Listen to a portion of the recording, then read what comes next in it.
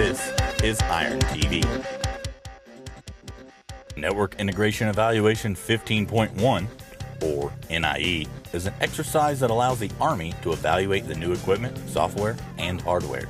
It is also an opportunity for elements of 2nd Armored Brigade Combat Team, 1st Armored Division, to get some field time. The medics of 47th Brigade Support Battalion take full advantage of the evaluation exercise. Here's Sergeant Marlon Stiles to tell you more. A mass casualty incident occurs when wounded personnel overrun an aid station. You all right? Starting to see the light. It is a situation that the medics of Charlie Medical Company, 47th BSB, recreate in the field during NIE 15.1. Check C-spot. The medics take the chance to evaluate their practices. We train on the best, newest equipment, but we also actually make sure that the four elements and the maneuver units keep their soldiers in play so that they're able to do their job as well. Yes, ma'am. The atmosphere in the aid station is intense. The severity of the situation will prepare the medics for future deployments. Get into the real situation, there's a possibility of freezing up. If you've practiced, practiced, practiced, and you have a feel for how things should go, when the real thing comes in, it's, it's not quite so traumatic for especially new medics, new physicians, new nurses, anyone. For new medics to the Army, this is a chance to put their training into practice. Uh, it's it's been excellent. I feel like you know, as a medic, I'm becoming better. So it's it's awesome to be able to work with um, with our doc and uh, get good feedback and and practice. You know, kind of a real life combat situation.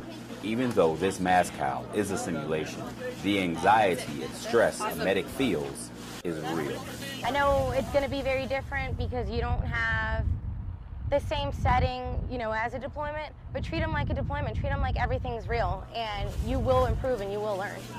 And learning during this exercise now will help to save lives of soldiers in the future. From Fort Bliss, Texas, I'm Army Sergeant Marlon Stiles. Soldiers from 2nd Battalion, 5th Infantry Regiment, 3rd Infantry Brigade Combat Team, Bulldogs, were recently awarded medals from their recent mission in Afghanistan. The medals awarded include the Bronze Star with V Device for Valor, the Army Commendation Medal with V Device, and the Purple Heart. The awards were presented to the soldiers by Lieutenant General Patrick J. Donahue, the Deputy Commanding General and Chief of Staff of the U.S. Forces Command. Do you have what it takes to be the next Fort Bliss recycling hero?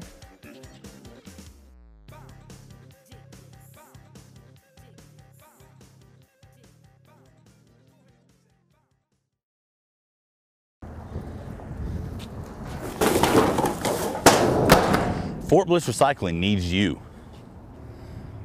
The Fort Bliss Recycling team is looking for someone to fill the role of the next Fort Bliss Recycling hero.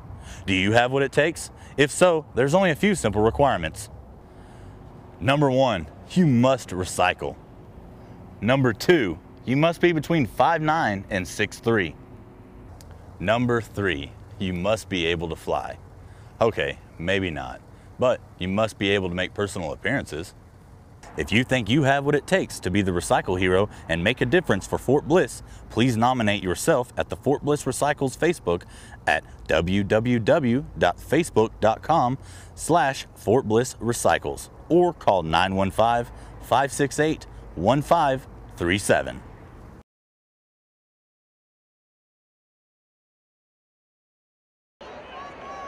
The UTEP Miners football team recently invited Fort Bliss soldiers and their families to a football game for Military Appreciation Day.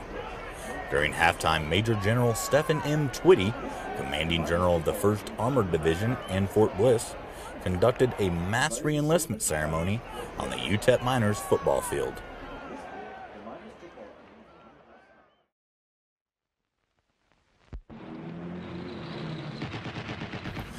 November 8, 1942, Operation Torch, the invasion of North Africa. This represented a series of firsts for the Allied crusade against Nazi Germany and her allies. This would be 1st Armored Division's first contact with enemy forces. Elements of 1st Armored Division were a part of the Northern Task Force and became the first American Armored Division to see combat in World War II during Operation Torch. With the anniversary of Operation Torch, the 1st Armored Division is hosting Torch Week here on Fort Bliss. During the week, America's Armored Division will host a series of events. Here's the schedule of events for Torch Week.